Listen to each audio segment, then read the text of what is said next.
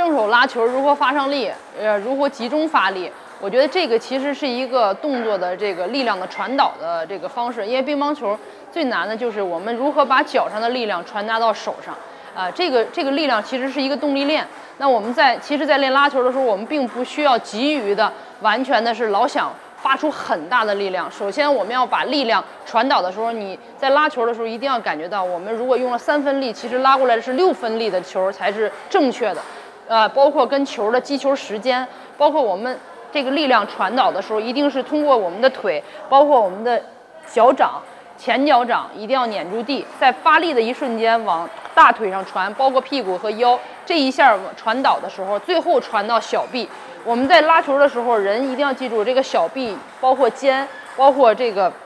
肘，一定是放松的。在接触球的一瞬间，我们有一个集中发力，每一下其实用身体来控制。包括我们的腿，一定要先记住用腿先发力，并不是说我们站得很直，完全用手发力，这样的发力是并不是一个正手发力非常顺畅的一个动作。一定是先用腿发力，传导到我们的上半身，再用上半身，在瞬间传到手上的时候，我们放松集中，这一下才有一个爆发力，包括集中用力的感觉。那我们肯定是要每天反复的多去体会。如果说我们带球的时候并没有这种感觉，我们要做一些徒手的步伐，先要感觉到我们的身体是一个非常顺畅的动力链，以后我们才进入到有球的阶段。